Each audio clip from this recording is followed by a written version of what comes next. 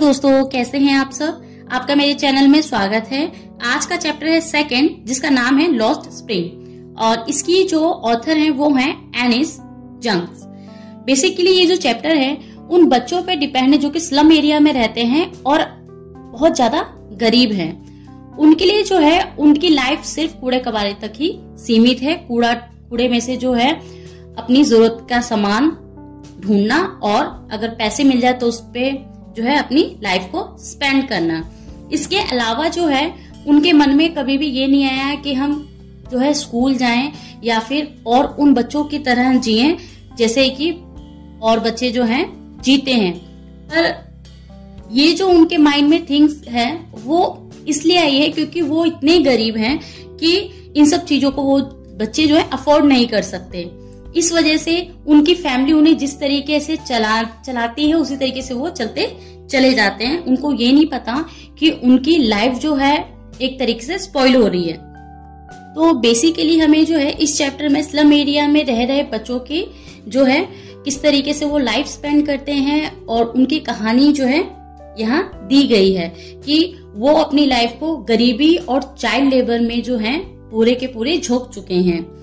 और इस चैप्टर के जो हैं, दो पार्ट हैं। फ़र्स्ट है sometimes I find a rupees in a garbage जो कि एक साहेब नाम के लड़के की कहानी है। और दूसरी है I want to drive a car और इस स्टोरी में जो है, मुकेश की स्टोरी है। और दोनों में ही चाइल्ड लेवल और जो है, गरीबी को दिखाया गया है। तो आइए शुरू करते हैं चैप्टर की समरी इसके फ़र्स्ट पार्ट की।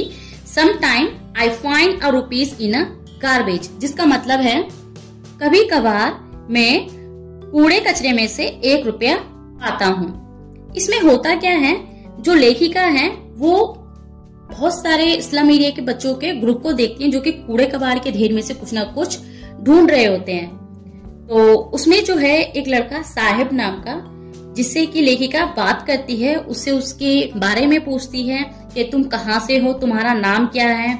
तो वो लड़का बताता है कि मैं जो है ढाका से हूँ और वहाँ जो है बाढ़ तूफ़ान की वजह से मेरे घर और खेत जो है बह गए थे, जिसकी वजह से अब जो है हम सीमापुरी कबाड़ी की जो कॉलोनी है उसमें रहते हैं। और हमेशा जो है कूड़े कबाड़ में से कुछ ना कुछ ढूंढते रहते क्योंकि यही हमारी फैमिली की जो है रोजी रोटी इसी से चलती है। और फिर जो है क्योंकि ये बच्चे जो है स्कूल नहीं जाते हैं, क्योंकि इनकी जो पूरे दिन जो है, इन्हीं सब चीज़ों में गुजर जाता है। तो लेखिका जो है, इन बच्चों से पूछती है कि तुम जो है, स्कूल क्यों नहीं जाते? तो साहेब बताता है इसमें से, क्योंकि मेरे आसपास घर के जो है, स्कूल नहीं है कोई भी, इस वजह से मैं नहीं जा पाता। और फिर जो ऑथर है, वो कहती है कि अगर मैं स्कूल बनवाऊ, क्या तुम वहाँ आओगे? तो कहता है हाँ हाँ मैं ज़रूर आऊँगा। और जब जो ऑथर है, उस साहिब से पूछते कि तुम्हारा नाम क्या है तो बोलता है, मेरा नाम जो है साहेब आलम। इसको सोच के जो है, लेखिका बहुत ज़्यादा जो है, एक तरीके से स्तब्ध रह जाती है, शांत रह जाती है, मन ही मन सोचती है कि ये जो लड़का इस समय कर रहा है, अगर इसे अपने नाम की मीनिंग जो है पता चल जाए तो शायद ही उसे उस पर विश्वास ना हो। तो साहेब आलम, जिसका मतलब होता है ब्रह्मांड का स्वामी, यानी लॉर्ड ऑफ़ यूनिवर्स और जो साहेब है और उसके फ्रेंड जो है, वो सब जो है, कबाड़ की अलग अलग गलियों में घूमते हैं कि उनमें से कुछ उनको मिल जाए। सुबह से लेकर शाम तक जो है, ये लोग यही काम करते हैं। सुबह तो पहले दिखाई देते हैं खूब, दोपहर तक एंड देन इवनिंग में ये लोग अपने घर की तरफ़ चले जाते हैं। और ये जो बच्चे इन्होंने जो है स्लीपर या जूते जो है, नहीं पहने हुए हैं तो इसलिए ऑथर भी पूछते कि तुम नंगे पैर जो है, क्यों घूम रहे हो? तुमने चप्पल क्यों नहीं पहनी है? तो उसमें से एक बच्चा कहता है कि ये जो है हमारा ट्रेडिशन है। पर जो ऑथर है, वो समझ जाती है कि ये बच्चे इतने गरीब हैं कि ये जो है, जूते चप्पल जो है अफोर्ड तक नहीं कर सकते।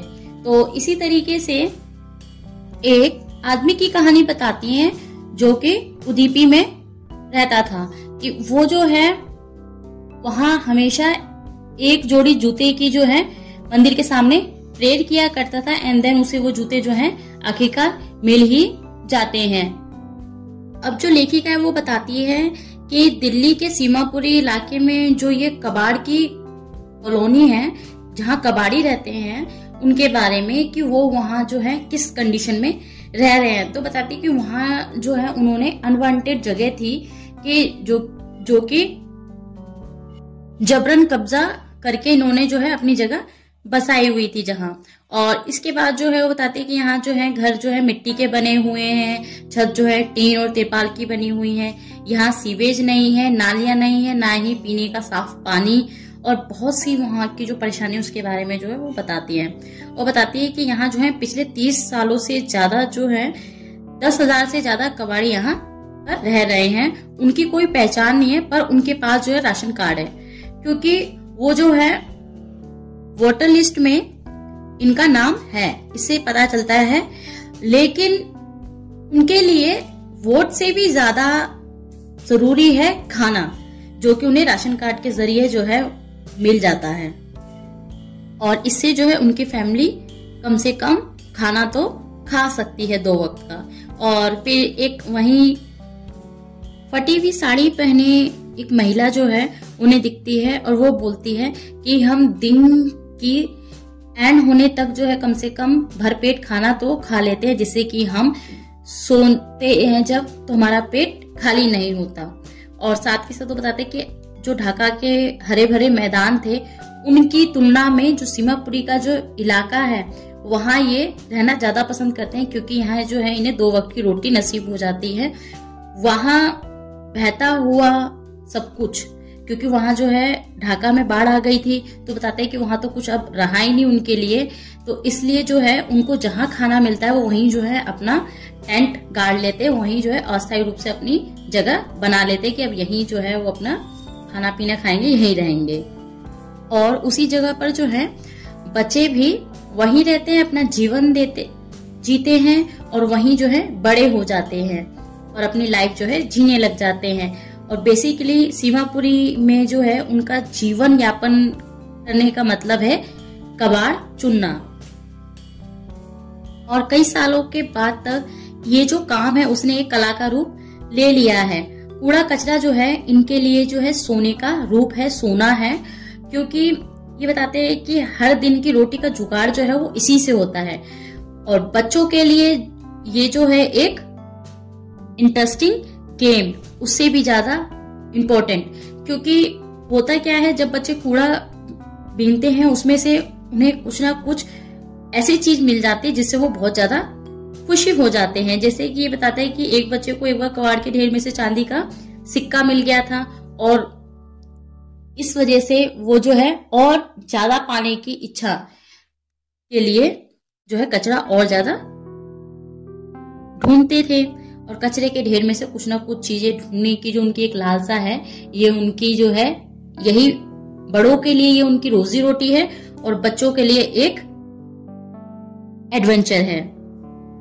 और एक बार क्या होता है, जो ऑथर हैं, वो जो है क्लब्स के बाहर ही खड़े हुए हैं, दो बच्चे, उनको देखते हैं जो वो यंग लड़के हैं, जो कि टेनिस खेलते हुए उनको जो है वो राइटर देख लेती है। और वहीं जो है, साहेब होता है, उसे जो है टेनिस खेलना बहुत पसंद है साहिब को भी। और वो कहता है कि जब कोई आसपास नहीं होता तो वो उस जगह जो है अंदर चला जाता है और गेट कीपर उसे जो है झूला झूलने देता है। और एक दिन जो है, किसी अमीर लड़के ने साहब को अपने बेकार जूते जो है उसे दे दिए, क्योंकि उसमें से एक जूते में जो है छेद हुआ हुआ था। अब उस, वो जूते जो है साहेब के लिए बहुत बड़ी चीज़ थे, क्योंकि कुछ ना होने से तो अच्छा है जो भी हो, उसको एक्सेप्ट कर लिया जाए। तो इस वजह से साहेब सोचता है कि पहले तो मैं नंगे पैर फिरता था, और अगर मुझे ये जूते मिल रहे हैं तो इसमें छेद है, इससे मुझे कोई फ़र्क नहीं पड़ता है। और ये जूते तो मेरे लिए एक सपने के जैसा थे। और वो बताते हैं कि सिर्फ़ जो है मुझे जूतों से मतलब था, और टेनिस खेल से जो है उसकी समझ जो है बहुत दूर दूर तक नहीं थी। अब जो है ऑथर बताती हैं कि आजकल जो साहेब है, एक चाय की दुकान पर काम करने लगा है और उसे जो है आठ सौ रुपए मिलते हैं और साथ के साथ उसे वहीं जो है खाना भी दिया जाता है। और इस समय जो है, साहेब के चेहरे पर जो एक चिंता हुआ करती थी, वो नहीं है, क्योंकि अब उसे ये नहीं लगता है कि उसे कहीं जाना है, कोई चीज़ ढूंढनी है और वो मिलेगी भी, नहीं मिलेगी, जिससे उसका घर चल सके। इस चीज़ की जो चिंता थी वो अब उसके फेस पर नहीं दिखती है। क्योंकि इसके साथ ही उसके फेस पे जो एक रौनक थी इंजॉयमेंट की, उस चीज़ को जो वो इंजॉय करता था, कबाड़ में से जो ढूंढता था, उसको वो इंजॉय करता था, वो जो है, बस उस चीज़ की कमी ही दिखाई देती है। और ऑथर बताती है कि उसके हाथ में जो है, एक लोहे का कंटेनर है, जो कि उसके प्लास्टिक कबाड़े के बैग से ज़्यादा भारी लगता है। और उसे जो है, अब अपने हल्द के कंधों से उठा लेता है। और साहिब जो है, अब अपना मास्टर खुद नहीं है, जिस तरीके से पहले हुआ करता था। अब जो है, वो किसी शॉप पर काम करता है और उसे उस चीज़ के काम करने के पैसे मिलते हैं। तो बेसिकली इस चैप्टर में हमने जो है, ये देखा कि एक स्लम एरिया के बच्चे की कहानी थी, जोता साहेब। और उसकी जो है, कूड़ा कबाड़ जो था, उनके लिए वो सोना था। साथ के साथ जो है, इस लास्ट मोशन में जो है, उसकी जो जॉब है, वो जो है, किसी और के अंडर वर्क करता है। वो अपना मास्टर खुद नहीं रहा, क्योंकि जो उसका कबाड़ का जो काम था उसमें जो वो इंजॉय करता था, वो अब यहाँ नहीं कर सकता। बट हाँ उसे इस चीज़ की चिंता करने की भी ज़रूरत नहीं है कि उसे कुछ नहीं मिलेगा, क्योंकि यहाँ उसे जो है आठ सौ रुपए जो है हर महीने दिए जाते हैं।